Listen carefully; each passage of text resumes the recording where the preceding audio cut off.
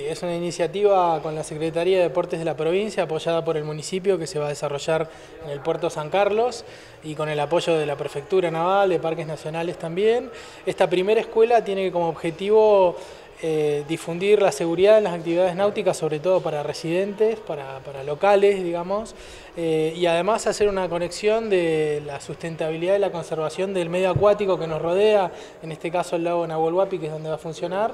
Eh, así que bueno, muy contentos y celebrando que estamos todos alineados de alguna manera y apoyando esta iniciativa. Es muy importante tanto la gratuidad como el objetivo que tiene el llevar adelante estas actividades a nivel formativo para los mismos vecinos de, nuestra región, para los chicos que acceden a las actividades náuticas, que lo hagan de una manera segura y de una manera consciente en relación al medio que nos rodea.